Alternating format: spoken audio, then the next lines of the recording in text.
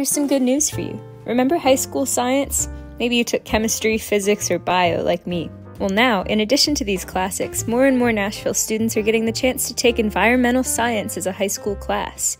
In fact, over the past two years, more than half of Metro Nashville public schools have started offering it.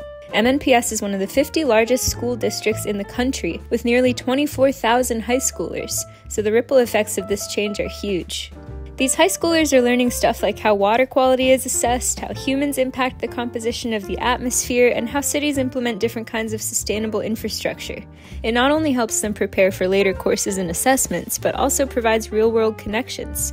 Environmental science lessons can take students outside or bring the outside in by covering local features like the Cumberland River.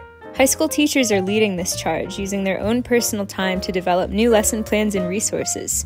It's kind of like building an airplane and flying it at the same time, as one teacher said.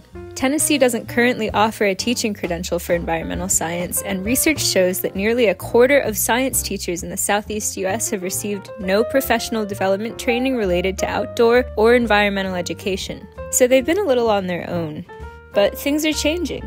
This year, the Cumberland River Compact is working with Metro Nashville Public Schools to provide workshops, classroom visits, and a peer network of support for our incredible high school environmental science teachers. You can learn more at the blog post linked in our bio.